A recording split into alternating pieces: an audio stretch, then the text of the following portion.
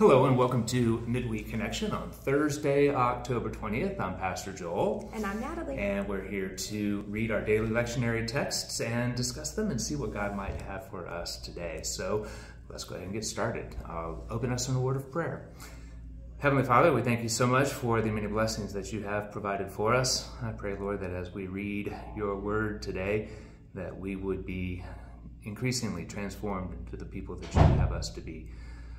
Lord, there are so many concerns in this world right now, and we're mindful of the ways that um, we don't we don't have control over these things. Uh, but Lord, we trust that you do, and ask that you would continue to exercise your sovereign grace over over every situation, uh, the challenges and the uh, the blessings. Um, help us to uh, hear from you, especially as you speak to us through your word today. We thank you and praise you. In, in your name, Jesus, we pray. Amen. We're going to start this morning with Psalm 1, what is that, 143. Hear my prayer, O Lord. Give ear to my supplications in your faithfulness. Answer me in your righteousness. Do not enter into judgment with your servant, for no one living is righteous before you. For the enemy has pursued me, crushing my life to the ground, making me sit in darkness like those long dead. Therefore my spirit faints within me, my heart within me is appalled. I remember the days of old. I think about all your deeds. I meditate on the works of your hands. I stretch out my hands to you. My soul thirsts for you like a parched land. Answer me quickly, O Lord. My spirit falls. Do not hide your face from me, or I shall be like those who go down to the pit. Let me hear of your steadfast love in the morning, for in you I put my trust. Teach me the way I should go, for to you I lift up my soul. Save me, O Lord, from my enemies. I have fled to you for refuge. Teach me to do your will, for you are my God. Let your good spirit lead me on a level path. For your name's sake, O Lord, preserve my life. In your righteousness, bring me out of trouble. In your steadfast love, cut off my enemies and destroy all my adversaries, for I am your servant. Psalm 147, verses 12 through 20. Praise the Lord, O Jerusalem. Praise your God, O Zion. For he strengthens the bars of your gates. He blesses your children within you. He grants peace within your borders. He fills you with the finest of wheat. He sends out his command to the earth. His word runs swiftly. He gives snow like wool. He scatters frost like ashes. He hurls down hail like crumbs. Who can stand before his cold? He sends out his word and melts them. He makes his wind blow and the waters flow. He declares his word to Jacob, his statutes and ordinances to Israel. He has not dealt thus with any other nation. They do not know his ordinances. Praise the Lord. Our prophetic word today comes from Micah chapter 5.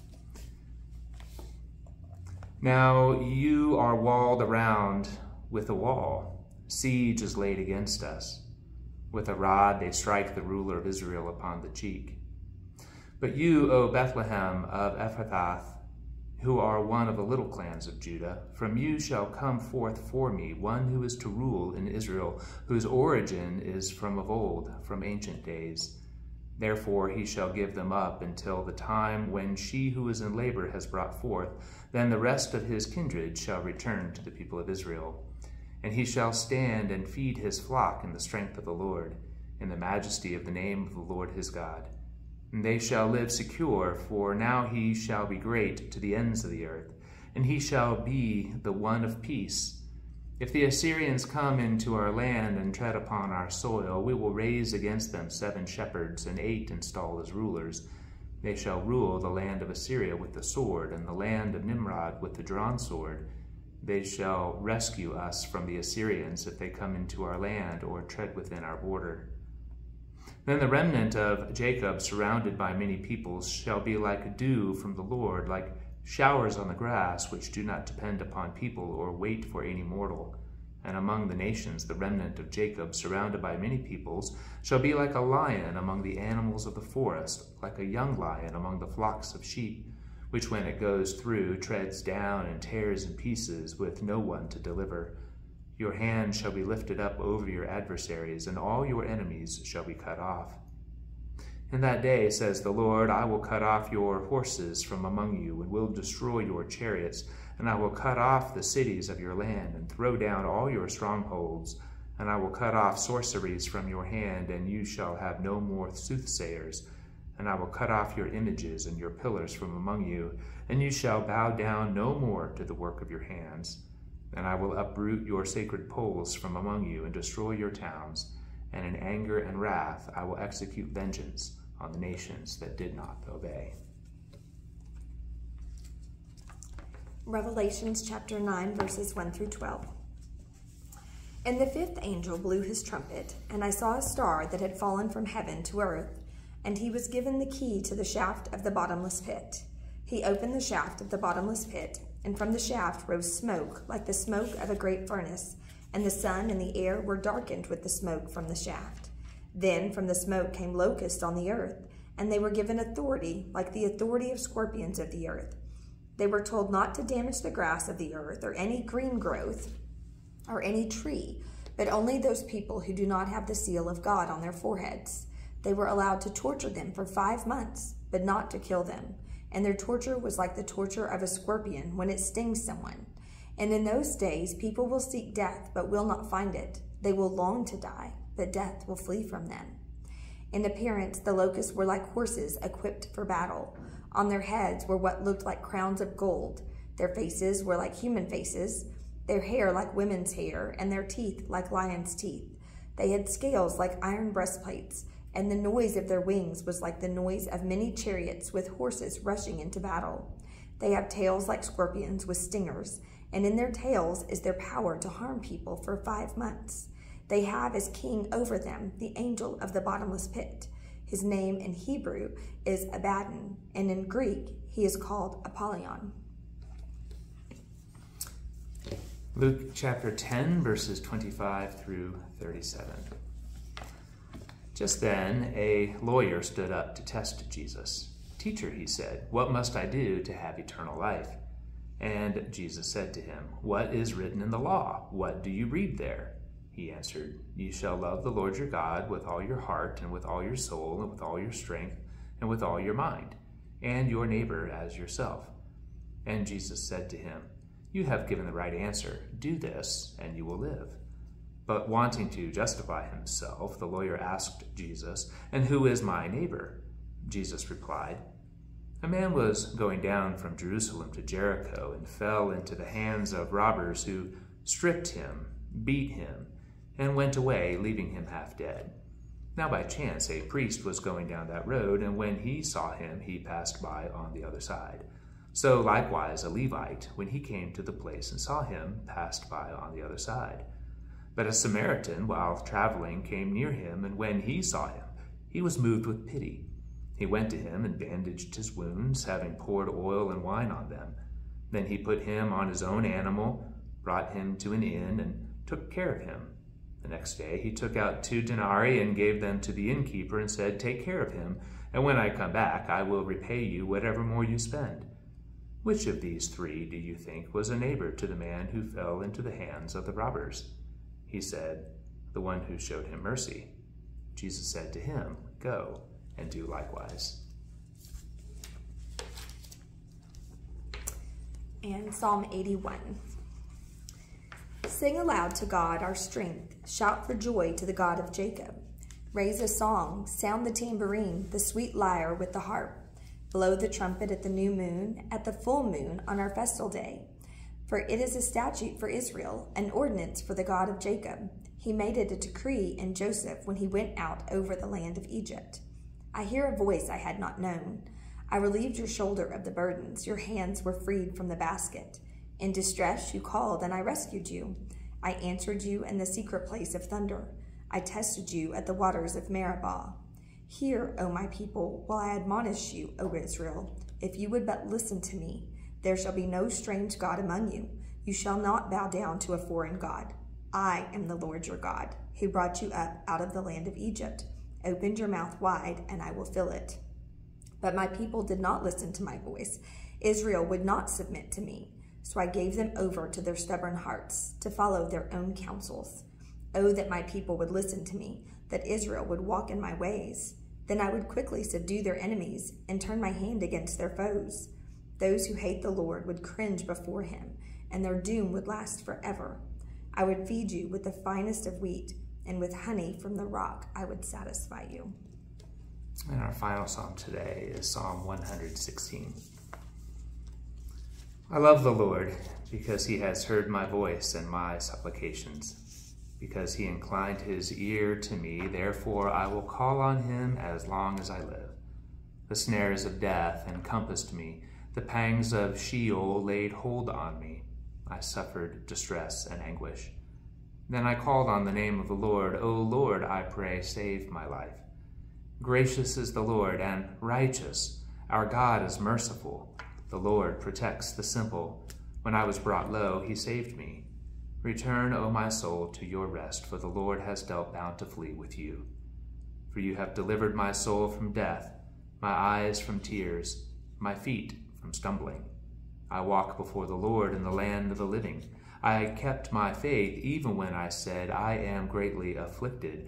I said in my consternation, Everyone is a liar. What shall I return to the Lord for all his bounty to me? I will lift up the cup of salvation and call on the name of the Lord. I will pay my vows to the Lord in the presence of all his people. Precious in the sight of the Lord is the death of his faithful ones. O Lord, I am your servant. I am your servant, the child of your serving girl. You have loosed my bonds. I will offer to you a thanksgiving sacrifice and call on the name of the Lord. I will pay my vows to the Lord in the presence of all his people, in the courts of the house of the Lord, in your midst, O Jerusalem. Praise the Lord. These are the words of the Lord. Thanks, be to God. God. Think before we get into looking at our text today, I, I kind of want to jump back to the end of Psalm 147 because we usually do our midweek connection on Wednesday, and we usually then, Natalie reads the first 11 verses of Psalm 147. But uh, the second half of 147, uh, 12 through 20, 20. I guess that is, um, when it talks about how uh, especially in verse 20, he has not dealt us with any other nation. They do not know his ordinances. Praise the Lord. There's this, uh, I think, a concept that we probably need to keep in mind when reading through these texts that can sometimes seem. Um, uh, sometimes even a little contradictory in a way, um, but uh, but we you know we don't we don't believe that they are contradictory. But this uh, this concept that the people that God is writing to are His chosen people. These are the people that He uh, that God has initiated um, covenant with. That God has uh, initiated um, every aspect of their lives, even those difficult things uh, that they would be slaves in Egypt for 400 plus years, uh, that they would go into exile at different times, but then they would be redeemed in that. And this whole cycle of redemption that I think we see all throughout Scripture. Um, needs to be, I think, held in this context. And so, if God is dealing with his people in a way that uh, the rest of that Psalm 147, talking about the blessings that he gives, the peace mm-hmm. that he brings, uh, uh, scattering down um, hail and uh, the uh, who can stand before his cold, these, these images of just the power and the majesty of God, that he right. is the only one that we should worship. Uh, but he has both justice and blessings that he has uh, judgment and redemption, that all of these things need to be held in that context of that the entirety of Psalm 147. Right. And I think I think that when we do that, then we can more appreciate, especially um, the difficult words from Micah, the mm-hmm. difficult words from Revelation, right. um, and then we can even see uh, from the gospel passage with um, Jesus being a little. Um, forthright with uh, right. the, the, the tension between the religious leaders not being neighbors and then the Samaritan being a neighbor. So right. all that that was that's just a really long way to say God's in control. God is good. God has got all of this. Right. And there is judgment, but there is mercy. Right.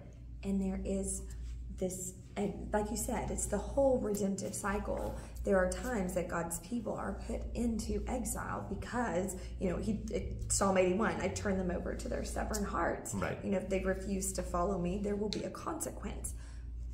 But he always calls back into relation. He has not left them. It's just a correction. Right.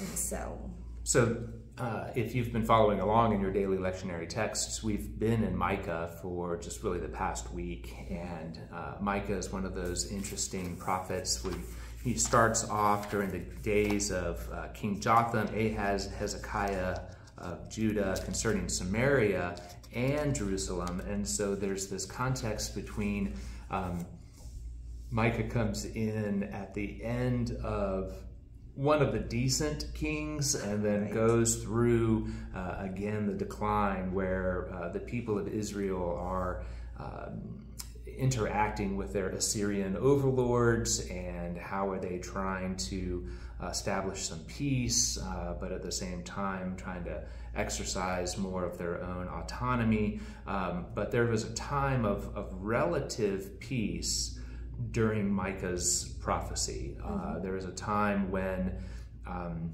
there was even actually relative prosperity in the midst of this. And the problem was that the people had essentially made a deal with the devil that we will trade our um, theological righteousness for temporal material gain. And uh, uh, the um, and, I know it's not even hardly getting into chapter five because again, some of these prophetic words are, are difficult to understand, uh, totally out of context. And so, um, thinking about how if there was this, uh, I, I, don't know how that's really any different than today, right? How so many of us are focused on our own material well being, right. especially as we see so much chaos in other places of the world we're worried about our own inflation, but rather than always caring for other people, we try to accumulate more for ourselves. Right. And so there's this tension then between I want to look out for number one.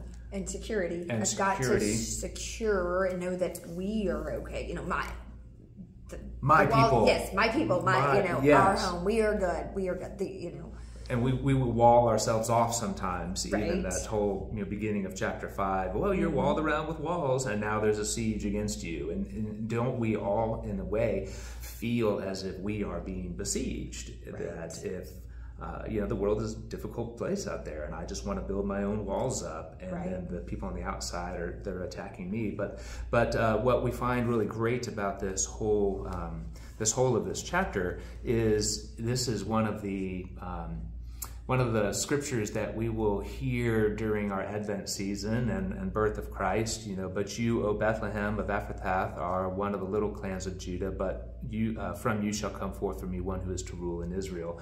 And this was the prophecy that when the uh, the wise men, the Magi, came and they were talking to Herod and they inquired, well, where was the king of Israel to be born? They used this as well. He's going to be born in Bethlehem. And so, isn't it interesting, though, that Bethlehem, being a small, relatively insignificant town outside of Jerusalem, you know, within a day's walk or so, but, but just small and just whatever, and from that lowly place is going to be the one that comes to deliver. And so, isn't it interesting that God frequently uses the small and the weak to do right. things that people wouldn't expect? Right. Well, the impossible. Right. He does the impossible. Right. So the rest of that chapter, Micah is moving into what is the hope that is coming from God. You have put your hope in things that will not satisfy and right. ultimately will be taken off into exile. God is saying that hope is going to come from an unexpected place. Hope is going to come from something small and humble. Um, how do we look for that? How do we even look for that today? Um, how do we uh, not put our confidence in uh, the things of this world right. when we know that the God is the one in whom we should have confidence? Right. right.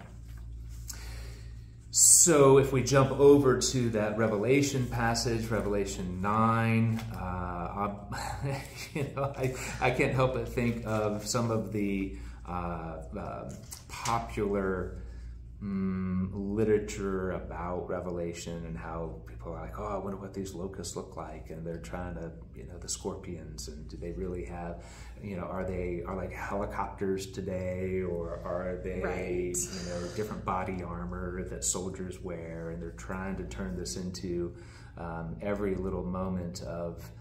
Um, you know current events is some sort of right. application or assign, fulfillment right. of this. Fulfillment, that's the word I was looking right. for. Right. Um, and and so so again, with any reading of Revelation, and again, as we've been looking at our daily lectionary texts a lot from Revelation, remember that Revelation is apocalyptic literature. It is meant to be um, pictures, word pictures that describe things that are in a way kind of indescribable and right. uh, whether we nail down every little wing or noise they make or chariot that they make it's this is one of these ways that god is judging the unrighteousness right. of the world as a whole uh, going back to that psalm 147 where God does not deal with any other nation this way because these are his chosen people. Now we see how God is going to interact with the world. There's judgment that's coming down. Uh, people are, uh, you know, there's kind of terrifying that they're going to be longing for death. Right. And the death will flee from them. Um, right. It's interesting that, you know, when we look at these other things and we, I don't know, you look at Micah and you have these people that are they are turning and they are looking for security in themselves. And all of these things, they have their own, they have these images, these idols, these gods, they have all of these things. Are, are those the people that are going to be experiencing that mm-hmm. that judgment and that consequence and if so the very thing that they're trying they're trying to build up and preserve their own life and yet here they are wishing for death and you know it's that is withheld hmm. and so just an just an interesting you know i don't know right just, well you know other passages jesus says uh, those who seek to save their life will lose, lose it, it, and those who lose their life for my sake will save, save it, it. right so it's yeah why you know god is always doing something right different and i don't know what to and i you know i'd have to really sit and read both of them but you read the micah and then i was reading the revelation and just like we were talking the other day we don't well somebody read ahead of time today. I didn't read ahead of time. But it's always interesting how you see, and I don't know, I'd have to go back and really look at it, but so you have the lion mm. among the flocks of sheep, treads, tears down, all of these things, but you see the same things. You have the lion again. Right. You know, it's it, it's just interesting how you see the lion and you have the horses and you have um, you see those same creatures throughout and I don't know. I don't know if there's anything to that. Um, it's certainly worth looking at, isn't it? Right. right. And so it would take some time to really look at that and look at the role here versus the role that we see here. But um, I did that. Just it jumped out at me when I was reading this. I was like, those are exactly what you mm. had just read mm. in Micah. There were several references to the same types of animals. Right. And so, not that I know where to go with that, but just it was interesting. Right. Well, and and so many of the prophetic texts, uh, you know, both Old and New Testament, mm-hmm. can frequently have a more immediate fulfillment and then a future right. fulfillment. Um, this is one of the reasons why in the church we follow a liturgical calendar where we remember the events of Christ's life or different uh, festivals or feasts of things like this. It's to remind us that God, who stands outside of time, is uh, working in time and also bringing elements, uh, and, and, and, difficult to explain, I get it, but bringing elements of, of future judgment into the past right. or into the present even something that we as Christians already understand and appreciate uh, through the judgment that God poured out on Jesus for the punishment of sins. But uh, but that judgment will then be poured out again at the end of times, was being described in Revelation, where where uh, the fulfillment of that. So again, when you're looking at prophecies, we see this particular prophecy about Jesus being born in Bethlehem. We mm-hmm. know that was fulfilled when Jesus was born. Right. But then the future role of the remnant, what are these, you know, how are the people of God going to uh, interact throughout time? Right. Um, and so, so let's go ahead and jump real quick to the parable yes. of the Good Samaritan. Um, very familiar parable. Right. I don't think there's anything new today that we can offer about right. it because you've, you've probably heard hundreds of sermons about the parable of the Good Samaritan.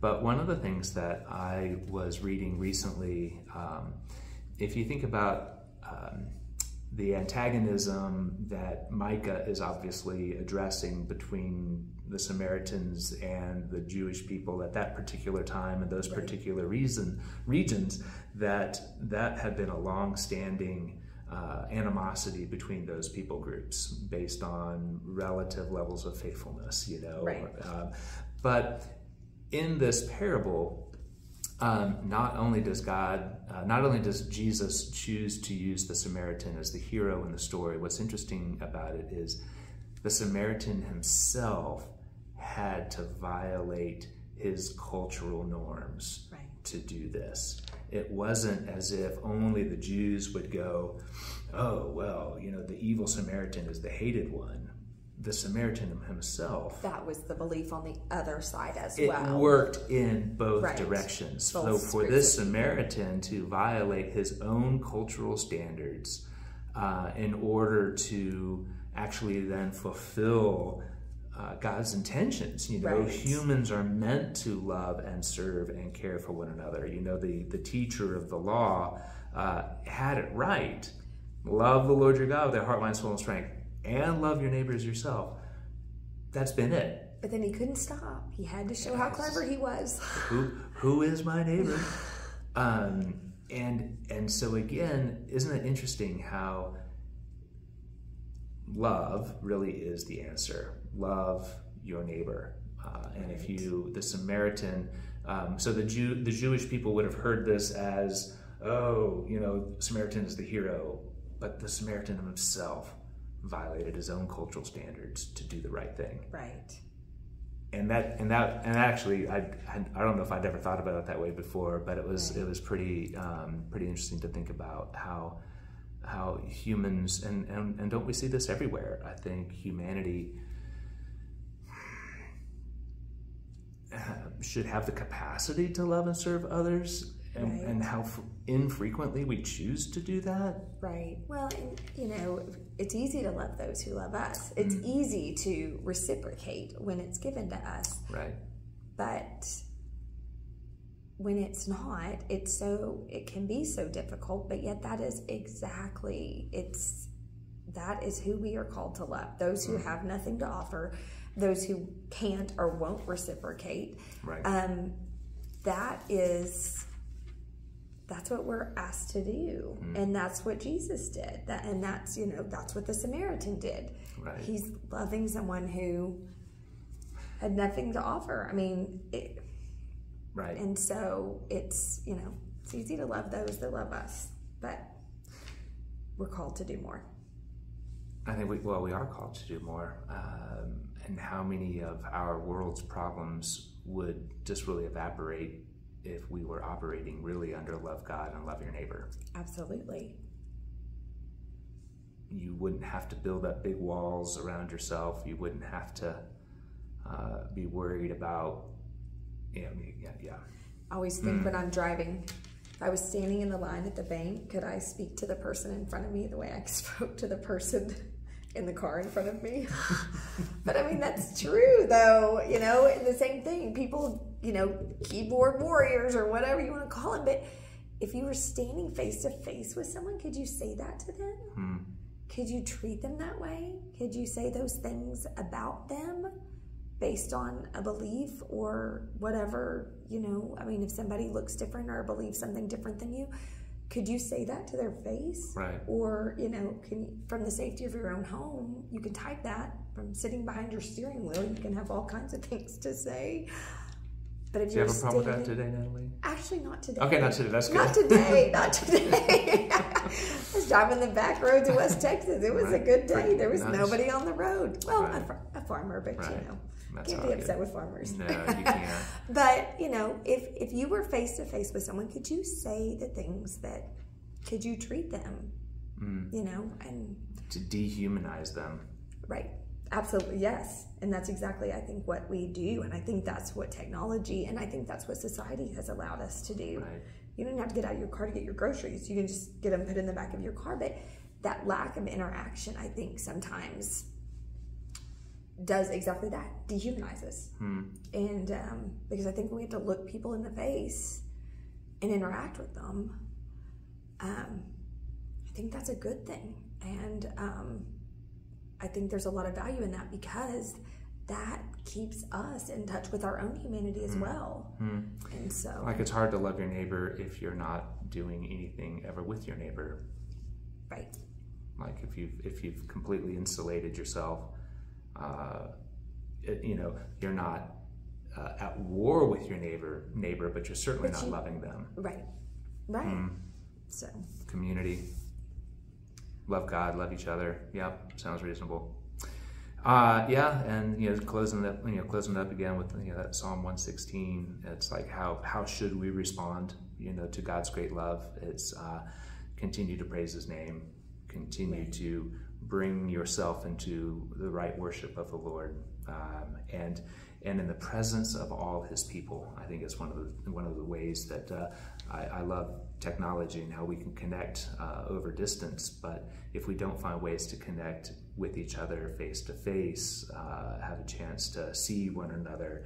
Um, um, then then you lose out. You know, there's the illusion of intimacy without uh, without actual responsibility to one another. So seeing one another, being face to face with one another, I think is so so very very important. So I pay my vows to the Lord in the presence of all His people, not anonymously online. I don't know. Plug for the day.